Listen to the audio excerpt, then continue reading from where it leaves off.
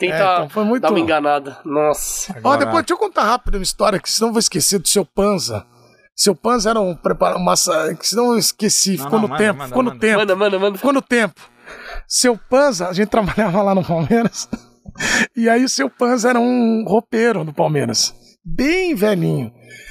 Ele ligava o compressor, tsh, puta barulhão assim pra limpar as chuteiras. E aí a gente fazendo entrevista, o seu Panza com o negócio ligado. Aí um dia o seu Panza, e ele era meio surdo. Seu Panza, seu Panza, ele olhou, eu, desliga aí, seu Panza, tô trabalhando ele. Eu também. e ficou lá, o Marcão amava ele. Marcão, Sérgio, ficava toda hora brincando. E esse cara, ai, Edu, ó, seu Panza, ó, seu Panza, tal, né?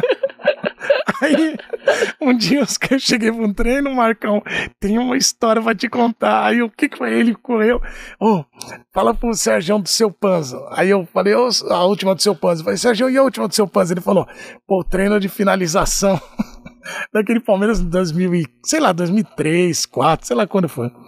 Seu Panza dentro do gol. Dentro do gol da academia de futebol.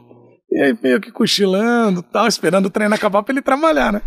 Aí o, Sérgio ia lá fazer uma defesa, treino da finalização. Aí sai daí, seu Panza, sai de dentro do gol, seu Panza, vai se machucar. Aí o Marcão, sai, seu Panza, vai se machucar. Aí o Diego Cavalieri, sai, seu Panza, vai se machucar, meu. Tá dentro do gol por quê? A bola vai pegar no senhor. Aí ele fez assim: que bola vai pegar em mim? Esse time é tão ruim que o lugar mais seguro desse treino aqui é aqui dentro do gol. A bola não vem nunca aqui dentro. E ele continuou sentado tomando café. Cara, o Marcão ria.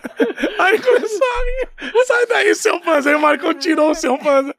Cara, o seu Panza tem muita história. Ele entregava. Lembra do Florentim? que Faleceu? É, faleceu também. Florentinho foi pegar o, o material dele.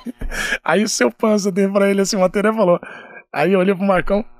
Aí o seu Florentinho falou assim: Não, não, eu quero aquela chuteira. Aquela que você guardou. Ele tinha cinco chuteiras lá dentro. Aí pegou a chuteira, trocou, deu pra ele. Aí virou as costas e ele fez assim pro Marcos: Não joga nada, tem cinco chuteiras.